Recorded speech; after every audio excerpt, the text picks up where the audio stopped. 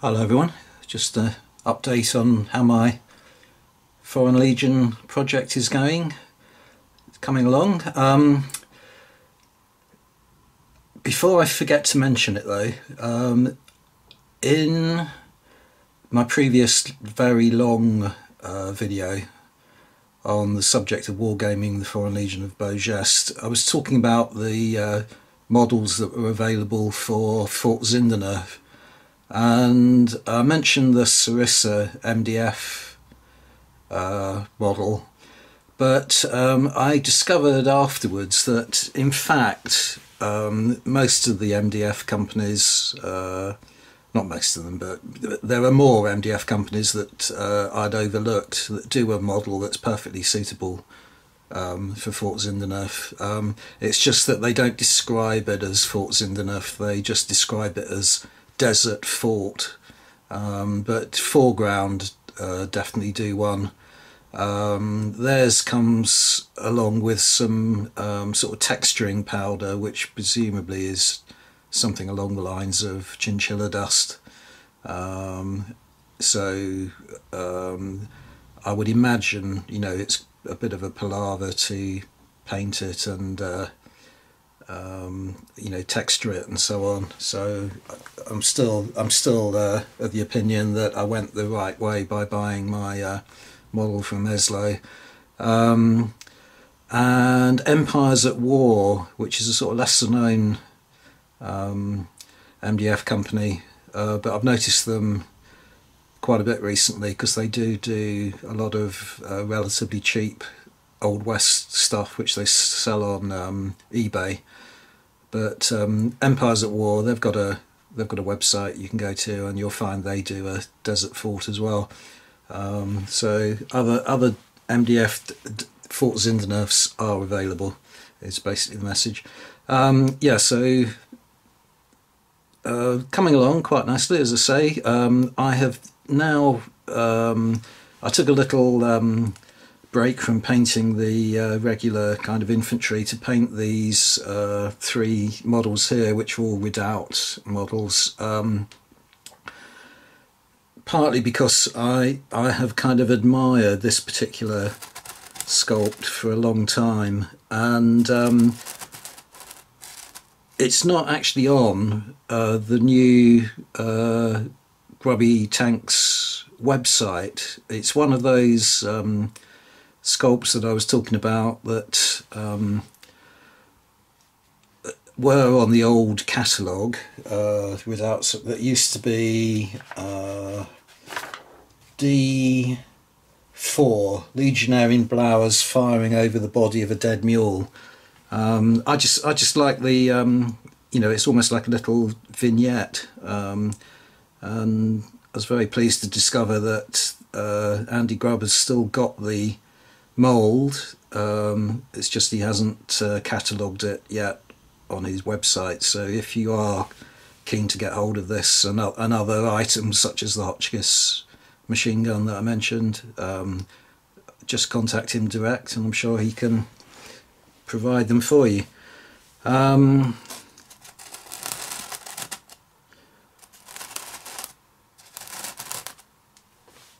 I haven't. Well, it's far too early yet, far too soon yet to have uh, received the order that uh, I sent off to Castaway Arts in Australia. Um, they did. I mean, the, the, their turnaround was fantastic. They they they had them in the postal system uh, within 24 hours. I think of me placing the order. Um, but unfortunately, the COVID situation is really uh, impacting on uh, postal deliveries in Australia. and since last, uh, when was it? Last Wednesday. Um, so, so six for six days, um, the parcel has just been sitting in um, Brisbane, um, in Queensland, um, cleared for international departure, but not actually having departed. So um, I reckon it would be about a month. I think I think the Australian postal website says wait 15 working days, you know, for for deliveries to to the UK. but why I mention that um, is much as I like these redoubt figures and um, you know probably am you know committed to um, continuing to buy them. Um, I am very interested to see what the Castaway Arts Tuareg in particular look like, um, because um, you know I'm I'm I'm content with having slightly different proportioned or scaled models. You know, if it's part of a different force, an opposing force. So I may well I may well go down the Castaway Arts route for um, for the Tuareg, but um, I'm uh, uh, it's a little bit disappointing with Redoubt that, as I said before, they're not the best of casts, and in the batch that batches that I've been painting, not with any any of these three figures. This is just a good, obviously a guy on a mule, by the way. Um, case you didn't realise. Um, yeah, but a lot of them have got pretty serious um, casting faults. You know, one one is missed a, missing a foot, and another is missing that sort of back uh, pouch, cartridge pouch, or whatever it is on the back of his belt. Um, you know, so I'm hoping I, I have ordered some of the Legionnaire figures from Castaway Arts as well, and I'm I'm kind of hoping that they're going to be a, a, similar size and will fit in, and then I might switch to um, switch to them for the Legionnaires as well because again they are, you know, some of them are advancing, but they're they're all. Um, there's a lot of reloading and firing figures and things, figures that would be suitable for standing behind the ramparts of uh, Fort Zinderneuf.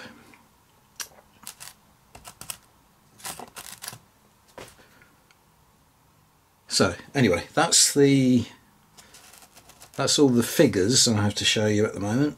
I'm working on another batch at the moment. Um, in the background here, you can see little bits of scenic items. So I've had this building for a long, long time. Um, probably 1990s, sometime in the 1990s, I bought it. Um, uh, it's an Ian Weekley uh, model. He um, he used to put up a lot of uh, building tips in the hobby magazines, um, and uh, then he went on to kind of uh, create a company called battlements. I said, yeah, battlements, and sell uh, figures, not figures, uh, models that he'd, uh, you know, sort of moulded from his scratch built uh, designs. Um, so as I say, I've had this a long time, but was, it it didn't paint up very well. I was never never very happy with the um, the way I painted it. So um, I thought I would try and paint it again and get get the colours to match more with the model of Fort Zinderneuf that I've shown you. And um, it's not far off. It's you know it's not perfect match, but um, it'll fit in on the table quite nicely. Um, I was kind of um, driven to do it, uh, but unfortunately I've been let down pretty badly. I have to say by Adrian's walls now. Um, they um, they they do a nice um, Arab village. They do some quite nice Arab Middle Eastern sort of buildings that I've had my eye on for quite a long time because they would fit in with um, the Crusade period that I war game and would have fitted quite nicely with the Arab Revolt, which um you know it's like a stalled project at the moment, but I am still intending to finish that one day. Um, and now you know I was looking for buildings for um, you know, the, the Foreign Legion in North Africa and thought they would do for that. And I, I put an order in on the 23rd of June and um, got to about the end of July and hadn't hadn't heard anything or received anything. So I got in touch with them. And uh, Adrian uh, of Adrian's Walls apologised profusely um, because my order hadn't been processed because of the disruption caused by um, the COVID lockdown, and they were just getting back to their workplace when the order came in. Um, and he promised me um, that that he would uh, put it onto the casting um, list for the next Monday and have it with me within two weeks. And um, it's over over four weeks now, and haven't a dicky bird. Um, so I emailed him again towards the end of last week and haven't had a haven't had a reply yet. So I don't know whether he's on holiday, but I'm worried now about whether you know it might have got lost in the post rather than uh, being a fault of theirs. But I'm, I'm getting a little bit um, worried about it. Um, so yeah, I was looking for you know ways of um, obtaining some buildings, and this this one came to mind. I mean, it's got a nice sort of um, area. You know, it, it's almost like uh, a kind of Casbah, like a, a, sort of you know a group of buildings which are um,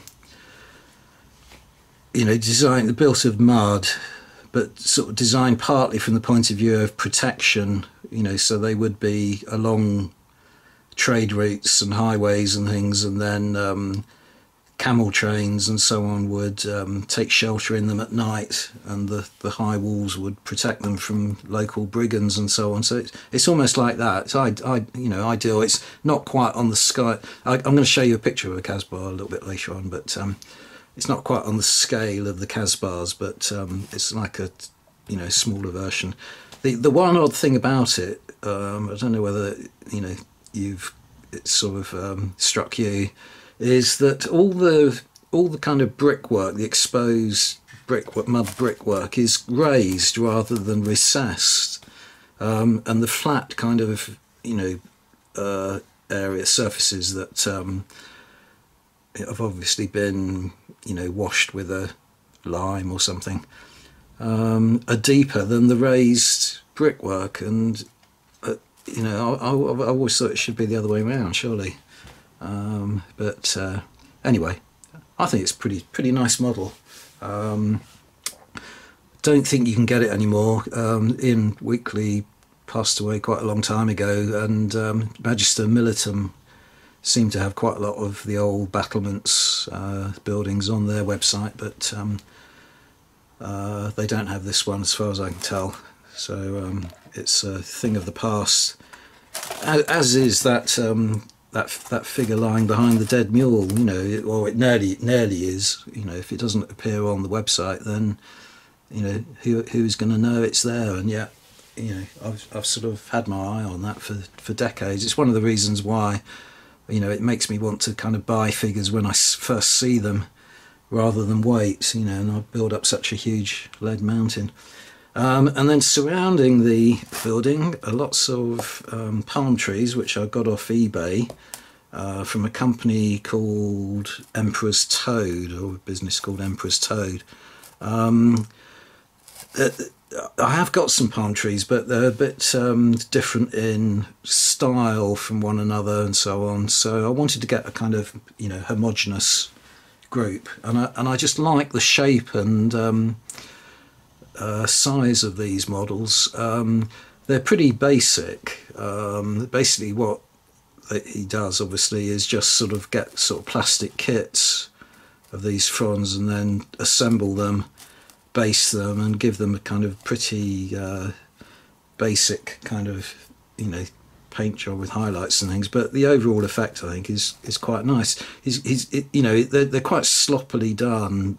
You have to you know you have to sort of scrape off bits of the you know from the plastic bits of plaster and paint and things that you know he's managed to spill onto the the leaves. You can see case there um, just on the back of the leaf there but that, that comes off pretty easily. You just get your nail underneath it and it scrapes off.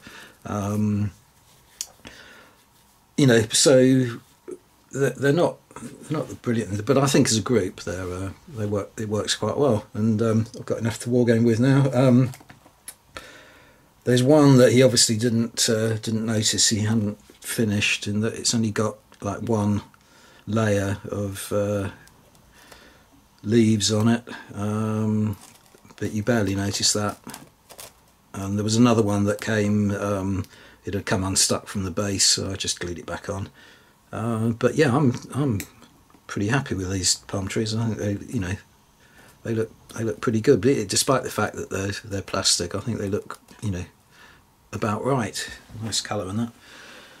Uh, yeah, that's more or less all I've got to show you in terms of um, models and figures and so on. Um, I have um, just in the last sort of couple of weeks, though, partly as a result of this uh, issue with Adrian's Walls and trying to source model buildings, I have been um, contemplating 3D printing, you know, getting hold of a 3D printer. And there's been a couple of um, uh, YouTubers put up uh, videos recently on, on the subject. Uh, Walkabout Games did one, I think it was today or yesterday, and Paintbrush Pirate has just got himself an Elegoo Mars. Um, really, you know, really sort of tempted to get one because um, I, I do, I'm, I'm really into buildings, as you know, and um, can never have enough of them, I think, despite the fact that they, uh, they take up a lot of space. And, um, you know, I'm sure it'll be a lot easier to get, you know, to source buildings just by buying the files in the future than it will be to actually buy them from, um, you know, buy them direct from manufacturers. So I was thinking of that, but um, there's a few kind of issues. I'm, I, I, don't have a lot of confidence about my abilities to use these machines and so on. So I thought I might um, go on a course. There's there's a course in Plymouth that begins in November. Um, five week course, two hours a week. Um, you know, so it's pretty, but it, but it teaches you all the basics about 3D printing and so on. So that would be ideal before I um, took the plunge. And the, the, other thing that's making me pause is that the Elegoo are going to bring out a, a, a more advanced 3D printer um, around October, November called the Saturn. So I've got my eye on that because I think it'll be capable of printing kind of larger items like this. Um, so that's on my mind. But then if I if I fork out mon- even more money for that, then really um, I need to know what I'm doing, which is why I need to go on this course. But um, the course um, will take place over the period when I am still booked to go on this holiday to Jordan. And I'm just waiting for the firm. They've offered me the opportunity to postpone it even you know, later to next April or November, but it's getting ridiculous now.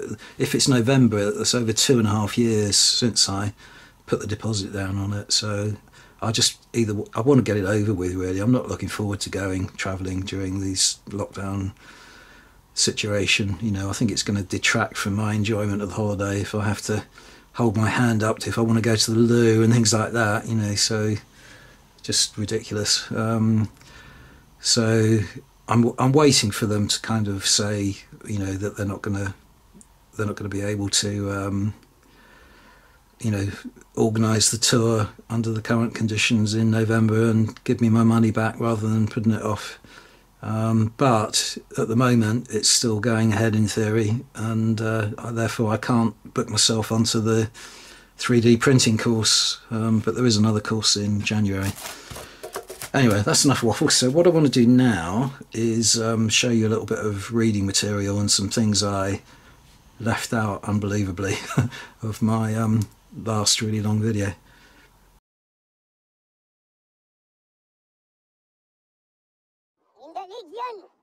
you march or die.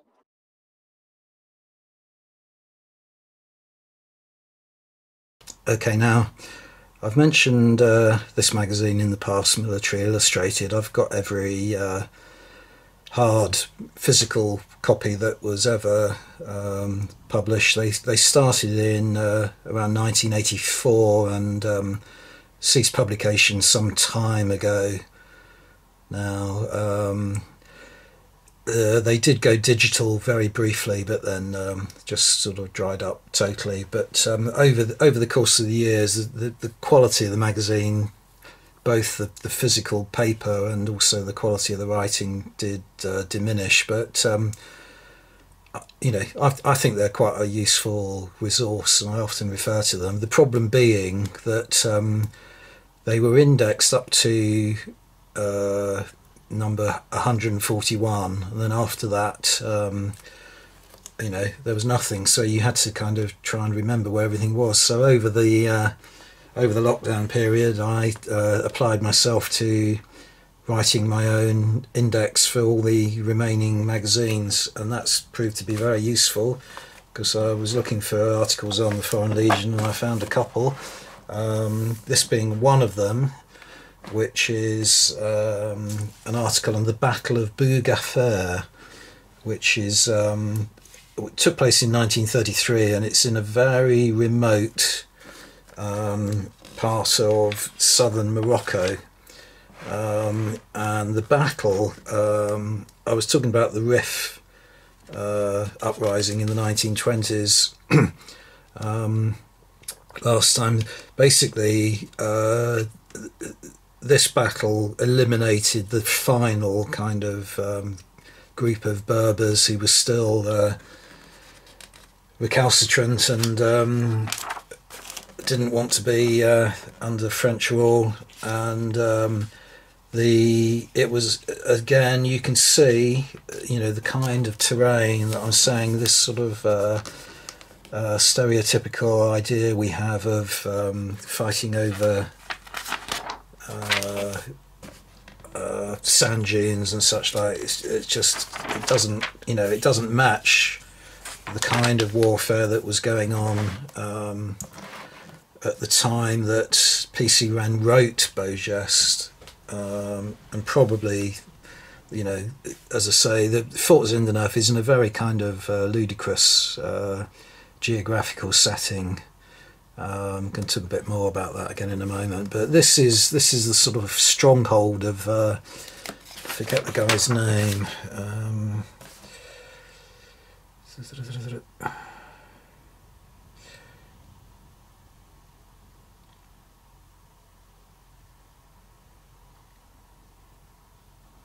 yeah, it was the chief of the Ait Atta, and his name was Hassu Bar Salam, and his brother Hamu um, they they they were held up on this really kind of uh, impregnable um, mountaintop, and um, it was going to be very costly to um, prize them off of it. And this is another thing that I didn't mention uh, previously, but um, the reason the uh, French Foreign Legion were often given the, the, this task, these type of tasks, was that um, they were a lot more expendable in terms of French public opinion than um, you know sending uh, native Frenchmen to do this kind of work because the casualties were going to be appallingly high.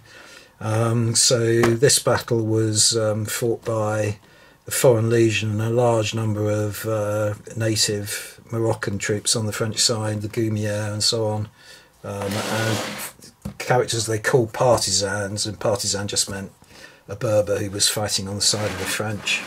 Um, but you let's just look at you can see the um, you know the difficulties of fighting over that kind of terrain, storming these kind of strong points, and in fact, um, the attack failed and. Uh, they starved the Berbers out, but basically, you know, a bit like the siege of Masada, uh, the Roman legions fighting against the Hebrews in in Palestine. They um, they just basically put a, a ring of camps and defences around, and um, the Berbers would come down and um, try and bump sentries off and pilfer ammunition and so on. Um, but it was a losing battle after that point. Um, yeah, the thing about this battle, though, is that it does kind of typify the type of fighting that also took place during the Rif Wars up steep mountain slopes with the um, uh, the Rif in the, in that case, you know, sniping at the uh, the Legionnaires and so on. Um, but it's it's kind of outside of what you would uh, you know define as the sort of beau geste period. Um, but um, this chap here, Jean Desmahis Bournazel, um, known as the Red Man, um, he was killed during the battle, um, leading uh, some native uh, troops. He was he was an officer commanding um, some of the Goumiers. Um, but in the 1920s, um, he was actually an officer of the Spahi, um, just like the character Henri de Beaujolais in Beau Geste.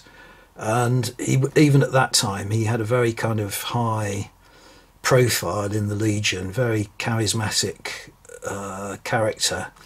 And it does make you wonder whether, um, you know, uh, P.C. Wren had Bournazel in mind when he uh, depicts the character of Henri de Beaujolais. Um, and again, sort of, this goes back to um, the kind of um, sort of hidden prejudices that are in in Beau Geste because um, Wren is almost compelled, partly from the point of view of being able to uh, make the you know make sense of the plot, um, but he's compelled to make Henri de Beaujolais half English. Um, de Beaujolais has an English mother who is an acquaintance of Lady Brandon, so that links de Beaujolais in with the the Jess and the Brandon Abbas and so on, and the mystery of the Blue Water Diamond.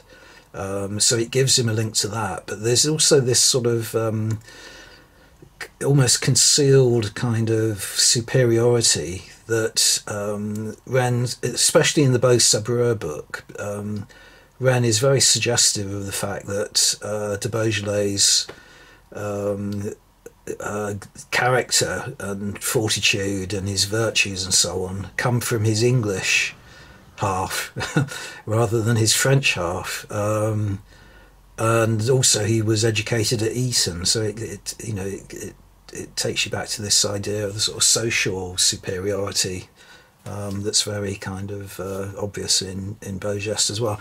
Anyway, yeah, I do wonder. It does make you wonder. But Bournazel, unfortunately, um, he, he continued to wear his red cloak, uh, which is why he was known as the Red Man. It was the sort of Spahi uniform, and he continued to wear it even in the 1930s when he was no longer in the Spahi. And the Berbers. Um, believed um, that this cloak had sort of magical properties, and that if you fired, if you tried to shoot um, him, the the bullets would turn around and hit the hit the shooter. So um, they they took very few um, pot shots at him, and he gained the reputation of um, you know, in the, amongst the French Legion of being invincible. That he, he was always at the front of the fighting during the Rif Wars and, and later, and never had a scratch. But it was partly the result of this Berber suspicion. But unfortunately, the commander of the uh, French attack on Bougafer ordered him to um, remove his his uh, cloak and wear the appropriate uni- uniform. And. Um, it ended the inevitable happened and he ended up being shot and and he was hit here. He was he wasn't killed on that spot. He was wounded and taken back but died a couple of days days later. But um, but anyway um, you know that is that is another link to Beau Geste um, you know it, it does make you wonder whether um, you know de Beaujolais is modelled on Bournazel and the other article I found um, here is in search of Foreign Legion forts. Uh, now, this is even more relevant um, to what I was talking about last time. Um, whole article on. Oh yeah, sorry. Before I forget as well, I was talking about the remoteness of of this place, but this is the author Edwin Herbert. Um, he actually went to. They trekked to this place it's like five miles um, with four wheel drive vehicles to get to it. Really remote. Ah, oh, yeah. Sorry, that's another thing. I was I said I was going to show you a picture of a Casbah. There is a picture of a Casbah Um, so much bigger building than that model. Anyway, let's get on to this other one. Which is an article on um, finding the Foreign Legion forts, and again, this is in Morocco rather than in Algeria. Um, and again, it was uh, the, the writer, in this case, someone called Richard Janes, actually travelled there. They were thinking about organising tours uh, to these forts, and um, he makes a lot of the points that I was trying to, um, you know, sort of make myself only a lot less effectively about how the forts were generally placed on very high points. They had these large towers because they were they, the the main the main function of the forts was often the tower itself. It was to get sort of advantageous positions where they could observe um, the surrounding countryside and so on. And um, but he, he also makes a point which I failed to make, which is um, not only did they need uh, materials to build these forts, but they they were put up very quickly, and the reason they were put up very quickly is because they were often built on very solid um, foundations, so they didn't need to actually build foundations because they were built onto to rocky outcrops, not onto sand dunes. So it's, it's it makes the makes you realise you know, even more how improbable the location of Fort Zinderneuf actually was. Um, and he quotes a lot from Pechkoff, uh, the book that I showed you last time. Um, this is this is uh, the tunnel of the Legionnaires um, which was built. It says built with little or no heavy machinery. Um, and it's this is another thing that there it's often these narrow gorges and so on, um, very strategic points that the forts are, are overlooking and um, defending. They're not they're not out in the middle of um, vast plains of, of sand dunes. Um, but the, you know, the, a lot of the roads that the Legionnaires built and the tunnels that they they dug um, are still the main, you know, principal kind of routes in in southern Morocco. Um, sort of, you know, left that legacy, just as the Roman legions left the legacy of their roads that we still use today, like like Watling Street and so on. Um, yeah, so a really good article. Lots of other little um, you know snippets to enjoy in it um, about everyday everyday life of the legionnaire, and, and he talks about water supply and having to resupply the forts with water every every week or so. Um, something else I meant to say about it, but it's gone, so I'll stop waffling on that and get on to the other uh, book that uh, I've just received in the post today.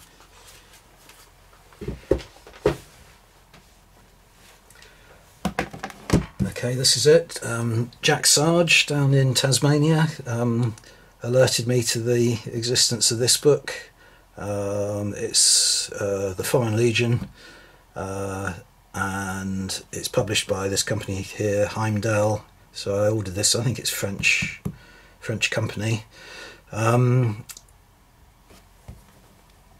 it covers the entire history of the Legion.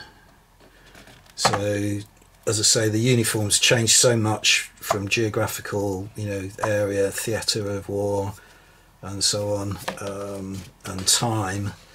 But the period we're interested in, this sort of classic Beau Geste appearance of the blue overcoat and the white kepi and so on, um, is covered in, in great detail. Uh, there we are, the Legion of North Africa. There we go. Um, Anthony at Grana Priego actually was reviewing a book.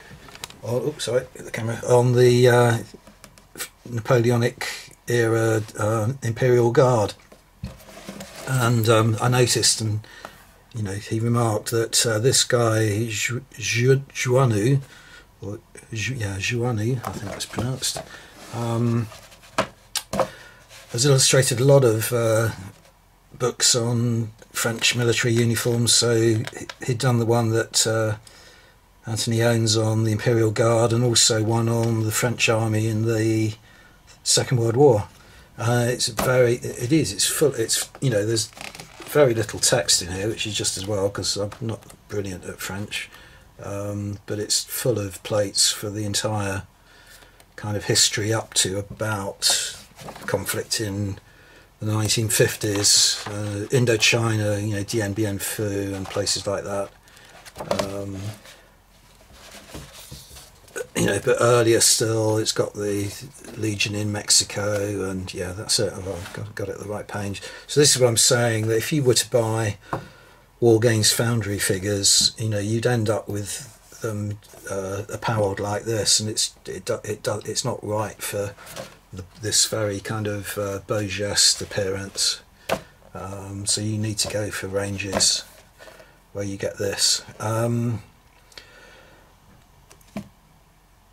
Ah, yeah, that was the other thing I was going to say on this book. He has got image, uh, images, obviously, for uh, the Rif Wars. Uh, must be going to it in a minute. Here we go. Yeah, Legion, Legionnaires of the Rif War. And you can see immediately that they're all in this uh, latter day kind of khaki coloured uniforms, not the blue overcoats. Um, and this is again, it's all part of this blending of the two periods together um, that PC Wren is uh, responsible for because um, the film that I mentioned last time, the March or Die, um, they're all that that is after the after the First World War, um, set in with the conflict against Abdul al Krim and the and the Rifs, um, and to be accurate, uh, really they should be wearing um, this kind of duller uniform, khaki uniform, but they're not. They're all they're all dressed up um, just like this guy here, you know. So it, it's it's how it, it's it's just amazing how Wren's work, you know, even a hundred years after it was published, you know, it's still kind of colouring the popular imagination of what the Foreign Legionnaire should look like and um, the kind of fighting, you know, that in sand dunes that, that supposedly took place. Um, so, you know, it comes across in a lot of popular media now, um, you know, March or Die being an example of that. But anyway, very grateful to Jack Sarge for pointing this book out to me, but I'm going to treasure this and uh, it's going to come in useful for other things as well, like when I get round to eventually painting up a French army for the Crimean War because um, the Foreign Legion served in the Crimea as well and so on. Uh, if I can find it quickly I'll show you. This is the Legion of the Second Empire so I suppose that's the right period. Louis Napoleon. Um, yeah, anyway, that's it. Thanks very much for watching everyone and see you on the next video. Bye for now.